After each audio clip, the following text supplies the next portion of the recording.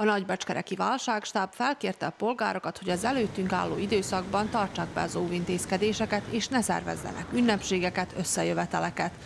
A polgármesteri hivatal úgy döntött, az idén nem lesz szilveszterezés, és az erre szánt pénzösszeget jótékonysági célokra fordítják. Mivel műsor nem lesz, úgy döntöttünk legalább kirakodóvásárt szervezünk a központi téren, amely még az új év első napjain is nyitva lesz. Leginkább házi és kézzel készített termékeket kínálnak majd az eladók, akiket már ismernek a helyiek, mert évek óta itt árulnak.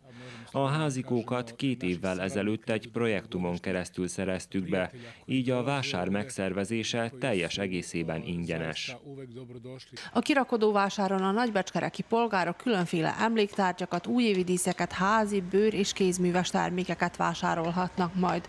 A szervezők elmondása szerint nem számítanak tömegre, és a téren is nagyobb távolságra helyezték el egymástól a házikókat, mint korábban. Így betarthatók az óvintézkedések.